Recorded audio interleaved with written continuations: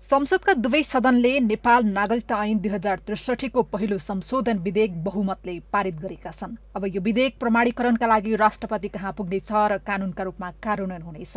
तर त्योभन्दा पहिले नै चौतर्फी विवादका बीच पनि सत्तापक्षको एक्लो जोडबलले पारित भएको विधेयकमाथि राष्ट्रपतिले सोच्न सक्ने सुविधा बाँकी नै छ। किनकि थुप्रै प्रश्न र केही आपत्तिजनक व्यवस्थासहित विधेयक पारित हुँदा यसलाई राष्ट्रियतासँग जोडेर विज्ञहरूले आपत्ति जनाइरहेका छन्। राष्ट्रहित विपरीतका प्रावधान राखेर सरकारले चालेका गलत कदमलाई राष्ट्र प्रमुखका नाताले राष्ट्रपति विद्यादेवी भण्डारीले रोक्नुपर्ने आवश्यकता समेत उनीहरूले देखिरहेका छन्। यदि यो नागरिकता बिल तपाईँले पास गराउनेतिर जानुभयो भने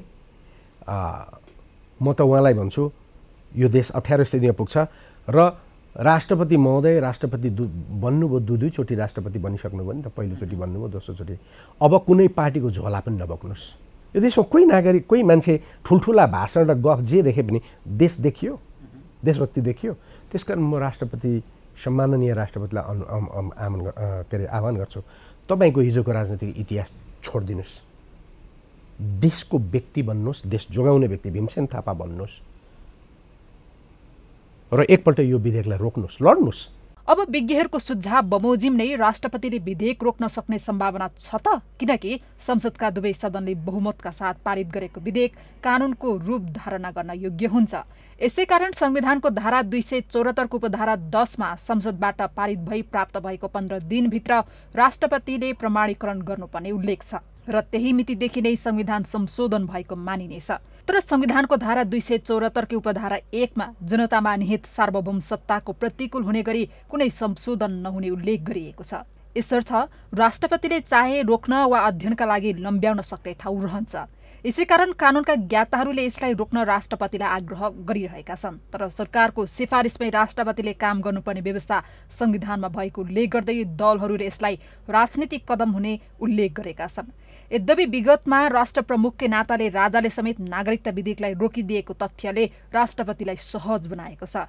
दुई हजार सन्ताउन्न सालमै तत्कालीन सरकारको नेतृत्व गरेका गिरिजा प्रसाद कोइरालाले आर्थिक विधेयकको बीचमा घुसाएर नागरिकता विदेश पास गर्न खोज्दा तत्कालीन राजा वीरेन्द्रले सर्वोच्च अदालतसँग राय सल्लाह मागेका थिए।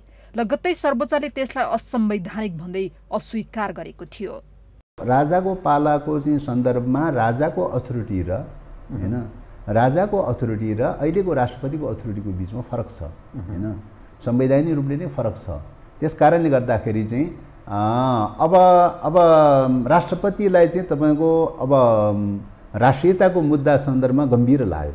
होइन राष्ट्रिय स्वाधीनताको मुद्दामा राष्ट्रिय स्वाधीनताको खण्डित गर्ने कुरा विखण्डित गर्ने कुरा सार्वमाथि आँच पुग्ने कुरा मुलुकै अस्मितामाथि आँच पुग्ने कुराको चाहिँ गम्भीर प्रकारको समस्याहरू च्यालेन्जहरू अनुभूति भयो।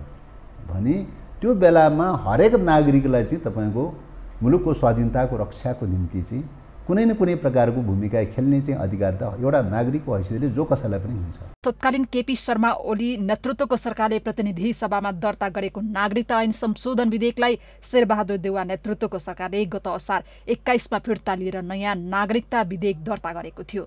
जुन साउन छ गते प्रतिनिधि सभा र बाह्र गते राष्ट्रिय सभा मार्फत पारित भएको छ। विगतमा यसको विपक्षमा उभिएका दलहरूबाटै पक्ष पोषण हुँदा विवादित विधेयकले कानूनको रूप पाउन थालेको हो। तर राष्ट्रपतिले चाल्ने कदमलाई महत्वका साथ हेरिएको छ।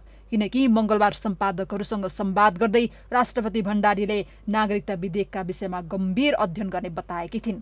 यसले कतै राष्ट्रपतिबाटै विधेयक रोकिने त होइन भन्ने सम्भावनामाथि समेत आकलन गर्न थालिएको छ। यो टेलिभिजनका लागि सन्तोष बिके थापाको रिपोर्ट।